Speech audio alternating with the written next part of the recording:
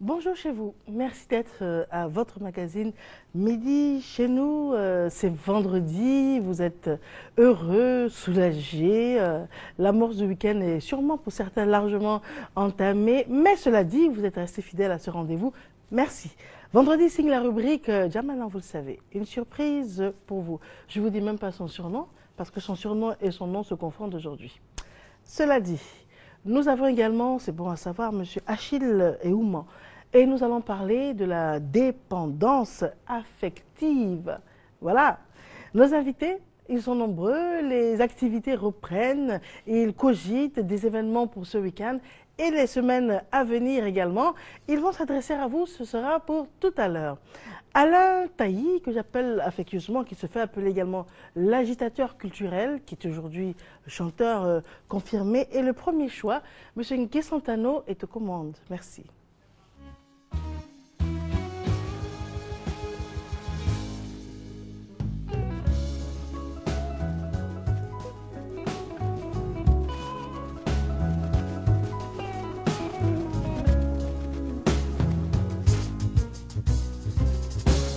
A man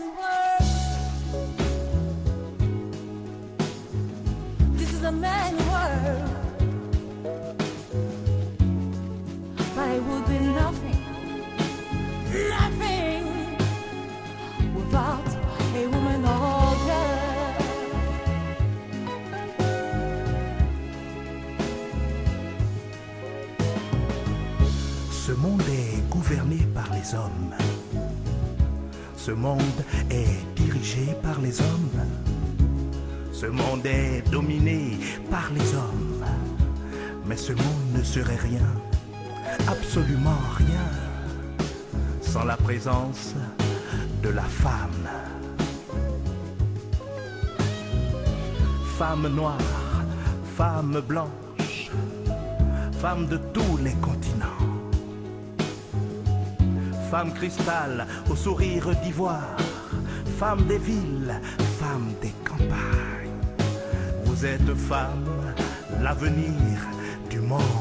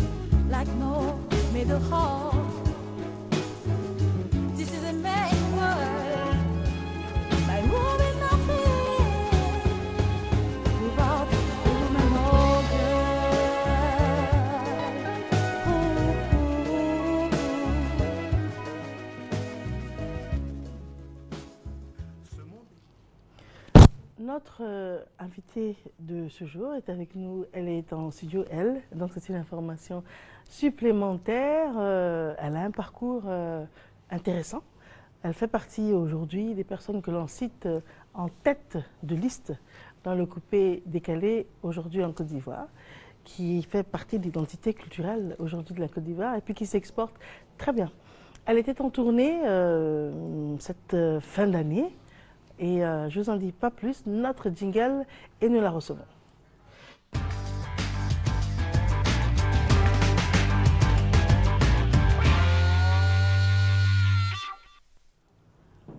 Vital, bonjour. Bonjour Mariam. Merci d'être là. Vous Merci arrivez fraîchement de tournée internationale? Oui, je viens de la France. Mhm. Voilà. Et j'ai tourné aussi en Afrique. Très bien. Et en Europe, c'était votre premier séjour? Ouais. Impression Super, tout s'est très très bien passé. Mhm. Et je dis merci à tous ceux qui ont participé euh, au voyage de Vital et tous ceux qui m'ont aidé aussi là-bas en Europe. Je leur dis merci. D'accord. Alors nous, nous avons choisi de vous inviter. Euh, vous étiez venu dans ce magazine hein, que vous connaissez très bien, Diamana. Mais régulièrement, nous avons choisi de nous intéresser un peu euh, à l'évolution des artistes que nous invitons dans ce magazine. Et à ce stade, euh, Vital, c'est une référence aujourd'hui. Et certains pas ont été franchis depuis la fois où on vous avait reçu. Entre-temps, les enfants s'y sont mis. Vous avez été même parmi les plus imités des Oui, artistes. l'artiste la plus imitée, la plus, la ouais. plus imitée Oui. Mhm. En ce qui concerne euh, Ozo des vacances, Ozo Vacances. Ozo Vacances Oui. D'accord. Alors, parlez-nous de vous aujourd'hui. Il faut dire qu'aujourd'hui, Vital est très contente. Je suis très contente d'abord de tous les enfants du monde, parce que c'est grâce aux enfants aujourd'hui que Vital a été révélé au grand public. Les enfants ont apporté un plus de ma carrière. Mhm. Parce que c'est par les enfants que les parents aujourd'hui m'ont adopté. Et aujourd'hui, ça fait que Vital est devenu presque international. Je ne dirais pas international en gros, mais presque international parce que je tourne aujourd'hui dans beaucoup de pays africains. Et aujourd'hui, je suis sollicitée du côté de l'Europe. Et ça, je, je suis satisfaite du, du résultat. Alors, vous avez un surnom que vous vous êtes donné, mais je pense qu'il commence à vous coller à la peau, la Beyoncé d'Afrique. Donc, ça veut dire que vous avez des ambitions. Bien sûr, Mhm. euh, mon ambition aujourd'hui, ce n'est pas de me limiter à la carrière uniquement ivoirienne. C'est de- d'occuper les grandes scènes. Les grandes scènes, euh, faire le tour du monde, être connu euh, par le très très grand public sur le plan international. Voilà. Très bien. Alors, vous, vous avez certains clips euh, qui nous sont parvenus. Et euh, quels sont les thèmes que vous abordez dans vos chansons? Dans la plupart de mes chansons, je parle du vécu quotidien. D'accord. Voilà. Je donne des conseils. D'abord, dans mon tout dernier single, Cocorico, j'appelle la jeunesse au travail. Je demande à tout un chacun de chercher à faire quelque chose dans la vie pour se faire une place au soleil. Et dans ma chanson Goumen Goumen, par exemple, je parle de la fidélité. Parce que j'ai constaté que de nos jours, partout dans le monde, il n'y a plus de fidélité dans le couple. Et ça, c'est pas bon. Donc, je demande à tout le monde de respecter son conjoint, sa conjointe, d'être fidèle dans le couple. Et Vous êtes travers- marié Non, pas encore. Vous êtes euh, vous en concubinage? Euh, non, pas pour l'instant. Vous êtes un cœur à prendre? Non. Il n'y a que des noms. quelqu'un Il y a que des noms. quelqu'un dans ma vie, Mhm. mais pour l'instant, Mais qui était avec vous euh, avant votre célébrité ou après? Euh, pendant ma célébrité. Pendant la célébrité D'accord. ouais. Très bien. Et à travers la chanson Mani Mania, Mhm. Je demande à tout le monde de cultiver la paix. Mhm. Voilà. La Mani Mania veut simplement dire les bonnes manières. Très bien. D'accord. Donc, on écoute euh, une de vos productions, notamment euh, Cocorico. Cocorico. ouais.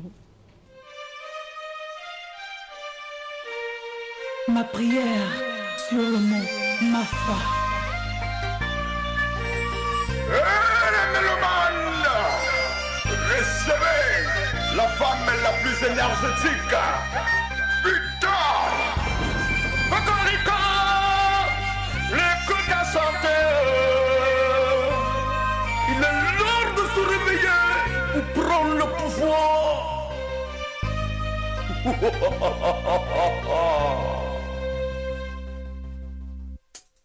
Segundo.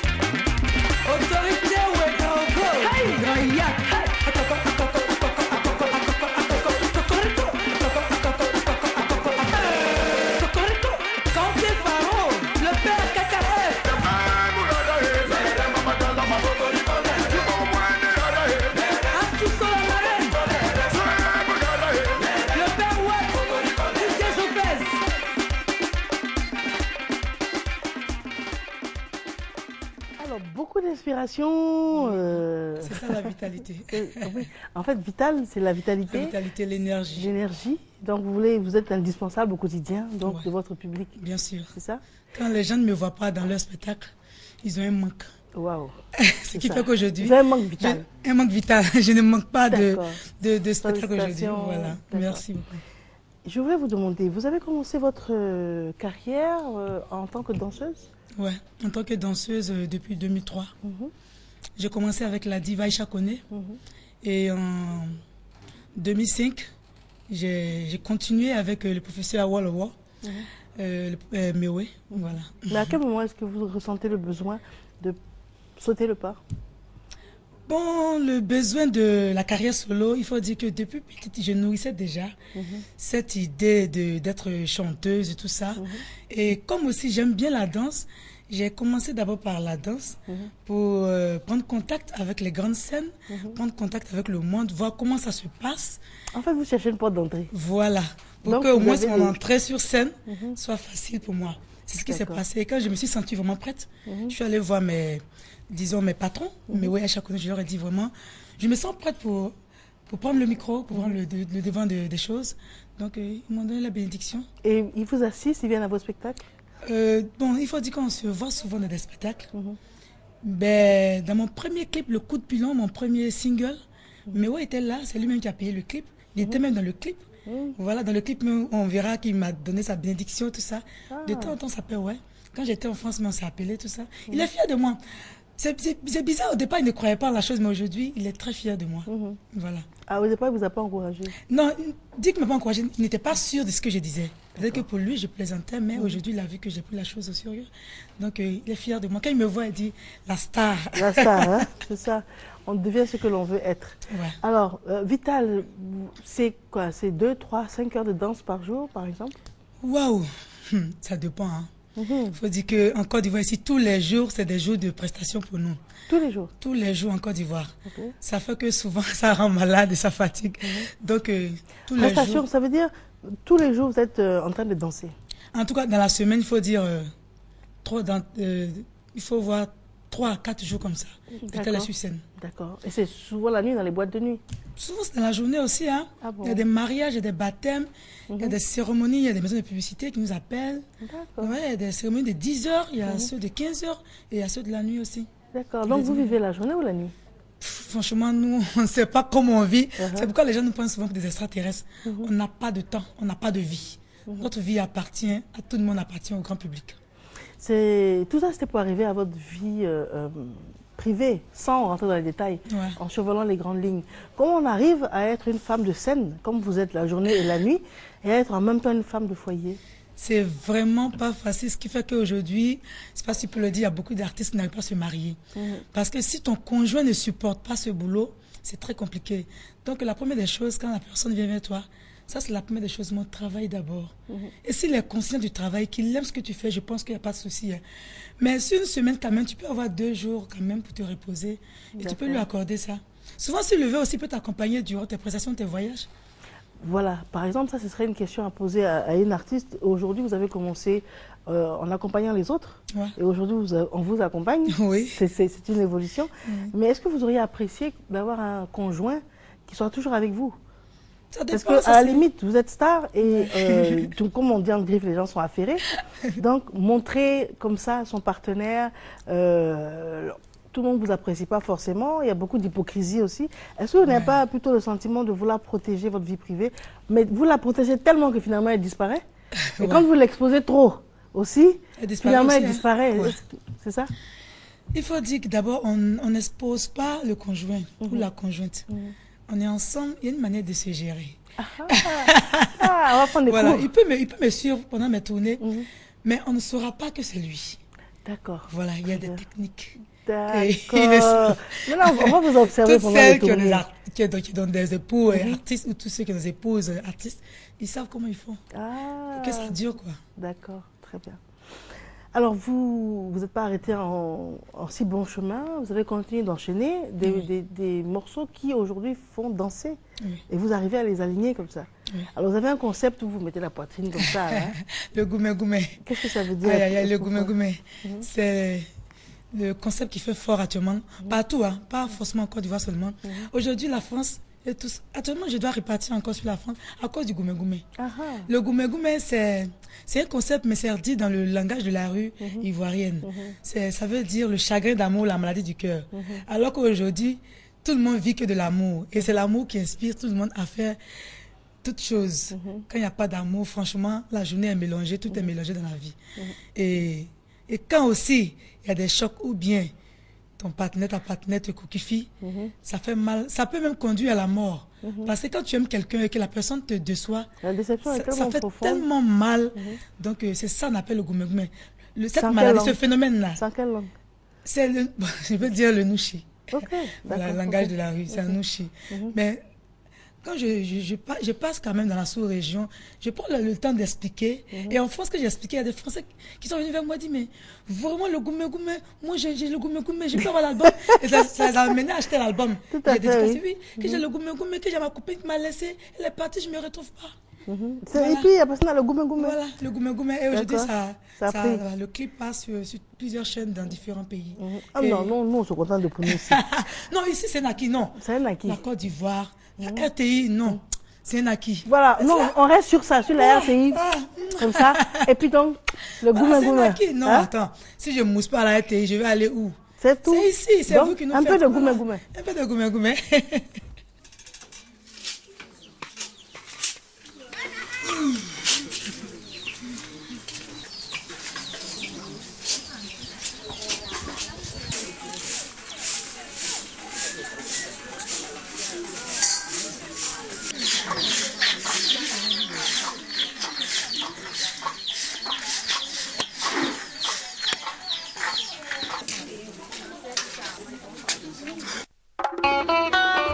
avoir le miel sans affronter les abeilles.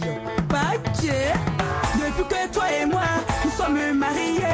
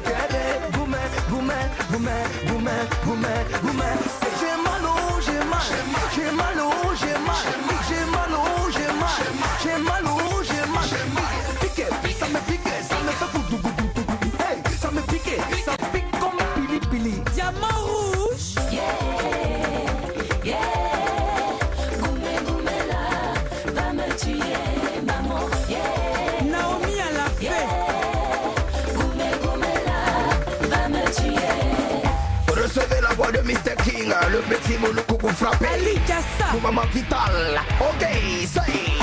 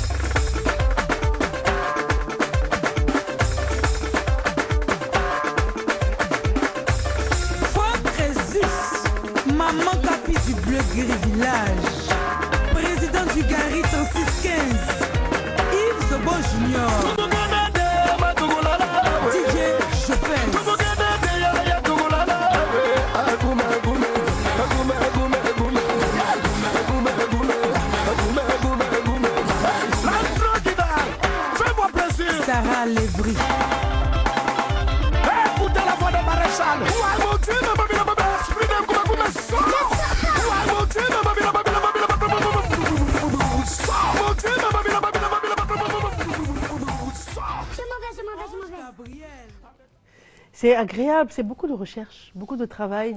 Par exemple, là, pour la- pour le- pour l'histoire du clip, le scénario, c'est vous-même? Ouais, c'est moi. Tout c'est moi. Depuis le concept, depuis la danse, depuis euh, la réalisation du clip, euh, les mises en scène, c'est moi. Ouais. Avant de sortir un concept, euh, quand je sors le concept d'abord, je pense après à la danse et comment euh, l'arrangeur va faire la musique, quels sont les, les beats, les instruments que je veux dans la chanson. Voilà, non, il y a tout ça. Ça. C'est vraiment un travail. Voilà, je suis beaucoup exigeante pour mon travail. Je veux que ça soit toujours bien, bien fait. Voilà.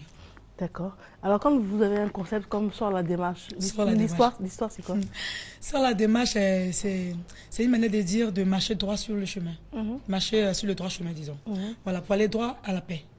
Voilà. Et je l'ai fait pour les enfants. Ah, c'est pourquoi il y a beaucoup de blocages, de, comment on le dit, rocascas dedans. Voilà, beaucoup de bruit. Vous avez conscience que c'est pas facile à imiter? Ou bien? Ouais, c'est pas facile de m'imiter. Mhm, C'est pas facile? Mais donc, quand les, vos chansons passent, les gens dansent comme ou bien ils arrivent à faire les rocascas. Non, ils le font. Ils Eh, eh. Non, le rocascas, c'est la tendance aujourd'hui. hein. Ah, ah. Non, il n'y a pas de En soirée fait, c'est nous autres aujourd'hui. qui sommes déphasés, quoi. Ah non, aujourd'hui là, c'est les rocascas, c'est tout le monde Ah. fait des chinois maintenant, taekwondo, tout ça. C'est du coup fou, en fait. En En de c'est nuit, c'est devenu comme lutte, ça. quoi. En boîte de nuit, c'est comme ça. Mais en boîte de nuit, même c'est la particularité, même ça, les. Ah, ah. C'est dans les dîners gala souvent que peut-être qu'on ne fait pas ça, peut-être on fait ça en souplesse, on triche un peu. Sinon, c'est les rocascas partout aujourd'hui. Ce que j'aime bien chez vous, c'est qu'on vous invite à la fois dans les dîners galas et puis Dans également tout. dans les boîtes Ouais, de nuit. Mais dans les dîners galas, euh, comme vous changez le, le style musical ou enfin le style, Non, je change vous pas de style musical, il faut dire que je sais les faire la part des choses. Oui. Quand je vais prester un dîner gala, je sais comment me vêtir, Mhm. je sais comment prester. Je ne prépare une prestation, une choré uniquement pour le dîner gala. Pour faire plaisir, je veux que ce soit classe, glamour, Mhm. chic et beau. Mais quand on voit le rythme, comment on, comment on peut être lent là-dessus bien Par exemple, les rocascas. Oui. Dans un dîner gala, Je le fais avec mes reins simplement. Je ne traîne pas par terre, je ne tourne pas. Les danseurs le font, mais arrêtez, on le fait avec les reins. Simplement. Ou bien on fait bouger le corps ou bien la tête. Mhm. Mais on ne traîne pas à terre. Donc vous adaptez en fonction du public, Voilà, que, du public, que ouais. vous avez. Ouais. D'accord, très bien. On va bientôt devoir conclure cet entretien, mais j'aimerais bien qu'on voit un peu ces rocascas là. D'accord. Ah, franchement, va- pour moi, je vais prendre des cours comme ça.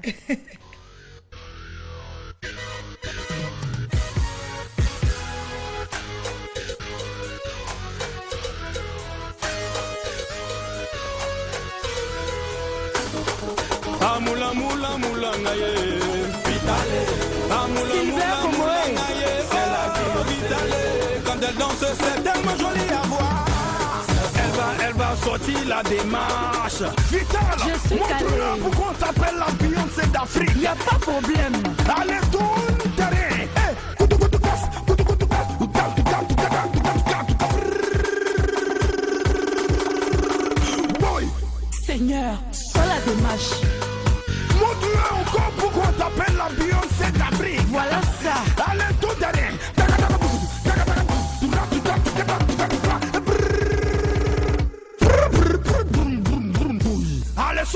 sur la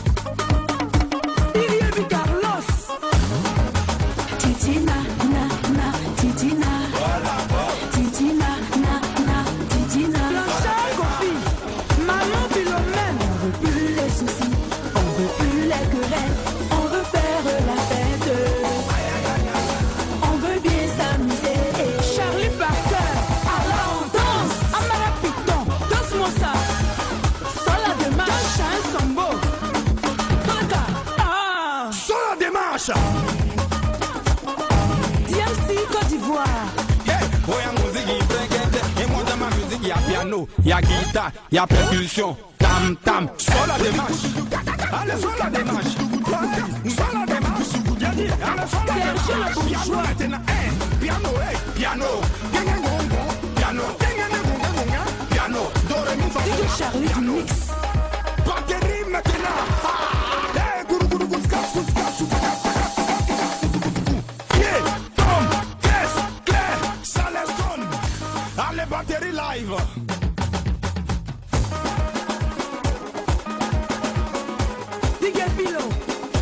Ahmed Silla de Houston,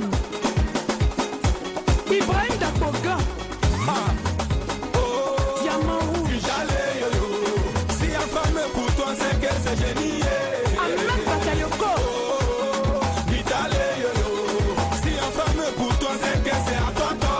Regardez, sortez la démarche. La démarche, sortez la démarche. Comme ça, sortez la démarche. Koutou, koutou, sortez la démarche.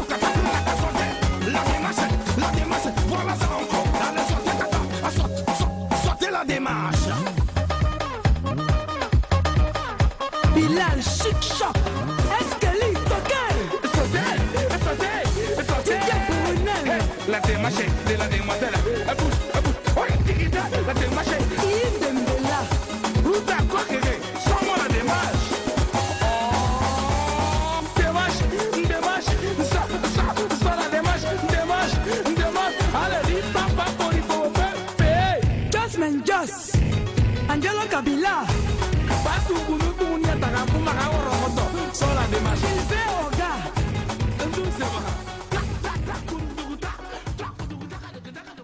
Vital, je crois que tu vas me donner des cours particuliers. No problème, il n'y a pas de souci, maman.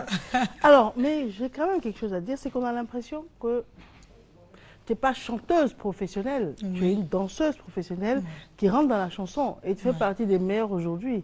Donc ça veut dire que tu prends des cours de chant? Bien sûr, actuellement, je travaille beaucoup dans le live. Parce que je dis, je vise le grand, les, les grandes scènes. Et donc, euh, pour avoir accès aux grandes scènes, c'est le live. Donc, euh, actuellement, en ce moment, mon staff et moi, on travaille dans le live. Pour faire plaisir aux adeptes du live. Quel est votre mot de fin? Mon mot de fin se résume en des remerci- remerciements. Euh, D'abord, je remercie le père KKF. C'est quelqu'un qui fait beaucoup pour moi, pour ma carrière. Je remercie aussi euh, mon staff managérial, MCH, mon chargé de communication, Quentin Faro, mon producteur manager, Clémentine Asso, mon assistante. Je remercie, je remercie la RTI, surtout la RTI, parce que la RTI a fait beaucoup pour moi et pour ma carrière. Et sans oublier le Dieu Tout-Puissant et les enfants.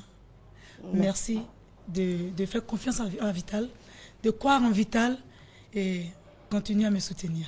Ne cesserai de faire plaisir. Merci à vous, Vital. Merci Mariam. Monsieur Achille Ouma est la personne qui prend le relais après Vital sur ce plateau. Le sujet, c'est la dépendance euh, affective. Dépendre de l'autre, euh, souffrir, souffrir le martyr au point de vouloir mourir, par exemple. Ça peut arriver. Elle en a parlé tout à l'heure. Elle l'a appelé Goumen Goumen, cette douleur intérieure, cette souffrance. Lui, Monsieur Achille Ouma, qui est formateur, et puis qui est notre personne de ressources, qui est conférencier également, et puis qui fait du développement personnel, va nous apprendre d'abord ce que c'est et comment surplanter, comment aller au-delà de ce sentiment et redevenir libre.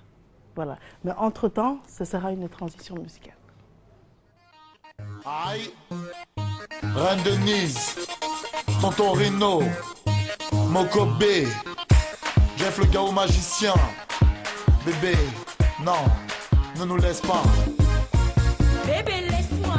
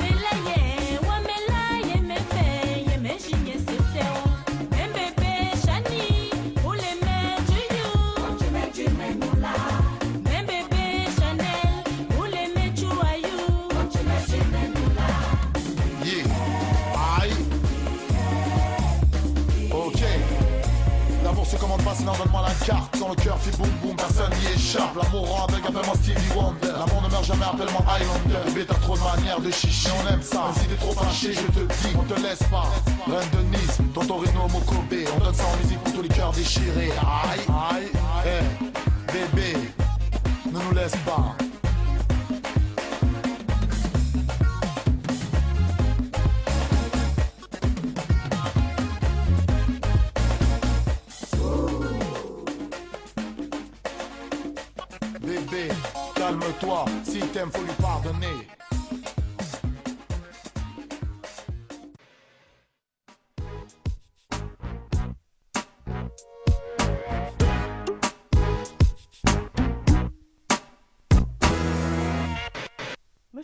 Merci d'être là. Bonjour Mariam.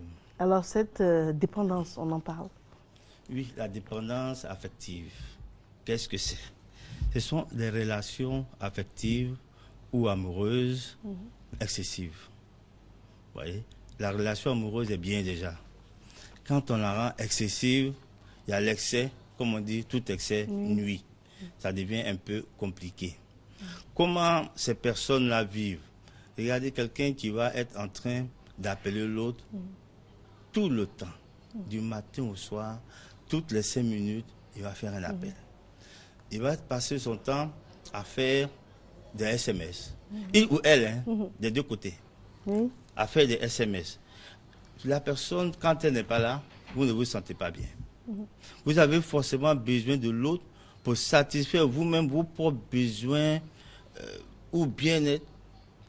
Vous avez besoin de l'autre pour avoir du bonheur. Vous avez besoin de l'autre pour vous, vous sentir amoureux. C'est ça la relation, euh, la dépendance affective. D'accord. Mais c'est une relation fusionnelle. Oui, c'est une relation fusionnelle. On est ensemble. Oui, mais il ne faut pas cet attachement-là. On est attaché à l'autre comme si, l'attachement, on sait ce que c'est, comme si on vous a mis une corde entre vous deux. Voilà. Sans l'autre, vous ne pouvez rien faire. Or, pour vivre heureux ensemble, il faut commencer par vivre heureux seul. Si seul vous êtes heureux avec vous-même, vous serez heureux avec les autres. Si vous seul vous êtes malheureux, il ne faut pas penser que c'est l'autre qui va venir faire votre bonheur. Non, l'autre va contribuer à votre bonheur. Mais il ne vient pas pour faire votre bonheur. Il n'est pas là pour ça. Est-ce que, parce qu'il y a beaucoup de couples qui se plaignent aujourd'hui d'infidélité, Oui, et l'infidélité, parmi les raisons de l'infidélité, il y a euh, le fait d'avoir l'esprit ailleurs.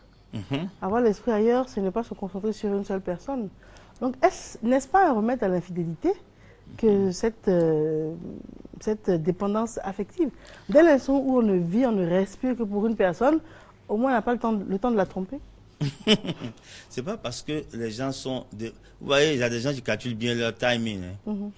Vous pensez qu'ils sont avec vous Mhm. tout le temps, qu'ils sont là, qu'ils sont présents. Mais ils ont l'esprit ailleurs.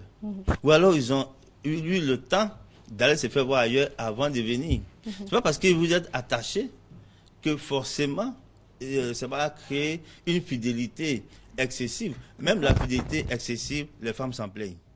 Parce qu'elle va dire, tu es toujours figé à la maison, sors un peu. Il y a des femmes qui disent à leur mari, sors un peu. Parce qu'il est toujours euh, trop casanier. Trop casanier, casanier non plus n'est pas bon. D'accord. Voyez? Donc, ces relations-là, vous voyez, où les gens sont tout le temps ensemble, vous allez voir qu'un va faire, va commettre, en une bêtise, l'autre va pardonner. Toutes les bêtises sont pardonnées. Tout ce que la personne fait en mal, l'autre, au nom de cet amour, pardonne. Alors, à force d'être tous les jours collés, coincés, vous allez voir que la relation va finir. Par exemple, deux personnes qui sont dépendantes affectivement, si elles se marient, ça ne marche pas. Enfin, si deux personnes s'aiment au point de ne pas vivre l'une sans l'autre, quand l'autre a un regard euh, sur une femme, par exemple, elle est jalouse ou euh, La relation devient étouffante. étouffante, ça c'est vrai. On étouffe son conjoint. Et là, c'est pas intéressant. Il faut mettre de l'espace. Toujours, quand je dis, Mais pas trop. il faut mettre un peu d'espace entre vous deux. Parce qu'entre vous deux, il y a ce qu'on appelle la relation. Dans quel type de relation nous nous sommes mis? Une fois que vous connaissez cela, parce que beaucoup de gens se marient sans comprendre dans quel type de relation ils se sont mis. Or, peut- des fois, même les caractères s'affrontent. Oui. Voilà. Des fois, on n'est pas bien même dans cette relation, mais on insiste. Et pourquoi insister? Donc il faut d'abord savoir dans quelle relation je me mets. Mais comment on peut savoir dans quelle relation on se met Mais parle-t-il de la personnalité? D'accord. Il suffit de connaître la personnalité de monsieur, la personnalité de madame. Mais ça, il faut venir vous voir. Il faut venir voir un, un coach. Par Parce exemple, que c'est difficile, parce qu'on a, on a des critères. euh, Est-ce qu'il est célibataire Première question. Est-ce que je suis sa seule femme? Est-ce qu'il va respecter mes parents? Est-ce qu'il a un bon travail? Est-ce qu'il est gentil avec moi? Est-ce qu'il ne me, tape, me frappe pas? Est-ce qu'il me donne de l'argent? Ce sont des critères qui... euh, qui ne vont pas à l'essentiel. Tous ces critères sont Bon. bons, mais ne vont pas à mais l'essentiel. ce sont quand même des questions importantes. Parce que quand vous êtes deux, monsieur et madame, le troisième élément, c'est la relation. Et c'est la relation maintenant qu'il faut chercher à gérer. Mais quel est ce type de relation? Alors, quand on prépare par exemple des gens au mariage, c'est cela que j'ai dit, il faut bien préparer les gens au mariage. Étudier la personnalité de monsieur, celle de madame, dire à madame, voici les qualités de monsieur. Parce que les femmes, quand elles commencent à aimer, elles, elles mettent une loupe sur les qualités de l'être aimé. Et elles grossissent ces qualités-là. Et on met un bémol sur les défauts. Oh, le monsieur a des défauts. Puis un jour, le défaut va sortir. Puis il va dire, je ne te savais pas comme ça. Mais Mais si- maintenant qu'on est marié, voilà. maintenant, alors qu'il était effectivement comme ça. comme ça, sur chaque qualité, il y a un défaut qui est greffé. Alors si madame connaît toutes les qualités et tous les défauts de monsieur, au moment où monsieur va faire apparaître ces défauts-là, madame est prête à accepter. Il y a une acceptation qui va se faire, à tolérer, à pardonner et on va de l'avant. Alors, quels sont les, les éléments dont on doit tenir compte? Quelques-uns, hein, quelques pistes tout de même, pour choisir son, son conjoint. Alors, pour choisir son conjoint, il faut d'abord et avant tout être soi-même heureux, comme je viens de le dire.